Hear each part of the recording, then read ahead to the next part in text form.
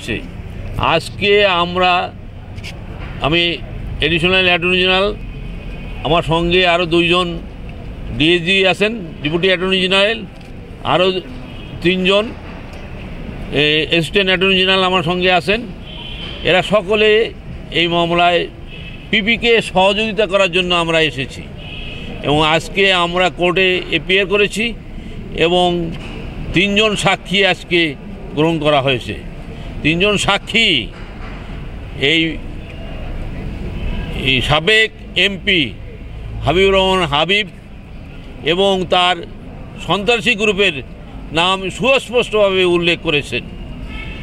সবচেয়ে আশ্চর্য যে সেই ধর্ষিতা যেই মাহফুজা বেগম, তার মামলাটাও আপনারা জানেন যে মামলাটাকে এখানে বিএনপির আমলেই খারিজ করে দেওয়া হয়েছিল।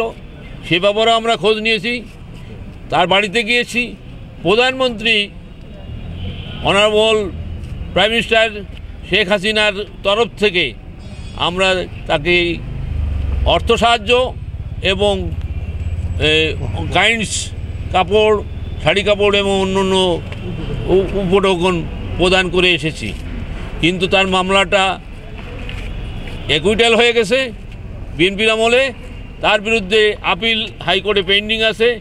ইনশাল্লাহ আমরা এবার ঢাকা যেয়ে সেই মামলাটাও আমরা শুনানি করার চেষ্টা করব, যাতে সে ন্যায় বিচার পায়।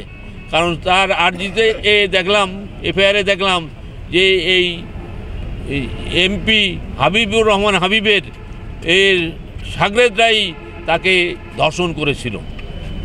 আজকে আমরা এই এই যে জিনিসটা আমরা বলতে চাই, একটা মেসেজ দিতে চাই, যদি ওই দিন দর্শকের পক্ষে যে বিএনপি বিএনপির লোকজন এবং সন্ত্রাসীরা যদি আমাদের নেত্রী এবং অনারেবল প্রাইম মিনিস্টারকে আঘাত না করতেন, তাহলে এই ধর্ষণের মামলায় দর্শকরা আর উৎসাহিত হইতেন না। হয়তো ওখানেই এই ধর্ষণের কেস সারা বাংলাদেশে শেষ হয়ে যেত, যদি সেই সময় বিচার হইতো। তারা তাদের উৎসাহে উৎসাহিত হয়ে আজকে সমাজে এই দর্শনের সংখ্যা বৃদ্ধি পাইছে বলে আমাদের ধারণা। ইনশাল্লাহ এই এখন কিন্তু আমাদের নেত্রী অনারেবল প্রাইম মিনিস্টার দর্শনের কেসে সাংঘাতিক অ্যালার্ট এবং বলে দিয়েছেন যে এর বিচার, ন্যায় বিচার করতেই হবে এবং এখন হাইকোর্টে এই বেলের সংখ্যা জিরোতে পৌঁছে গেছে। আমরা আশা করি সারা বাংলাদেশেই এটা সমস্ত আদালত এটা মেনে চলবেন এবং এখানকার যারা পিপি আছেন যারা আছে তাদেরকেও আমরা বলে গিয়েছি, দর্শকের মামলায় কোনো কম্প্রোমাইজের কোনো প্রশ্ন যেন আমরা শুনতে চাই না এবং ন্যায় বিচার যাতে হয়, সেদিকে আপ্রাণ চেষ্টা করবে। স্যার এই যে গাড়ি বহর মামলার রায়, হতে কেমন সময় লাগবে এটা কোর্টের উপর নির্ভর করবে, এটা তো আর আমরা বলতে পারব না। কারণ প্রত্যেকটা তবে হাইকোর্টের থেকে এ তিন মাসের মধ্যে এটা শেষ করার জন্য নির্দেশ দেওয়া হয়েছে। অলরেডি এক মাস চলে গেছে।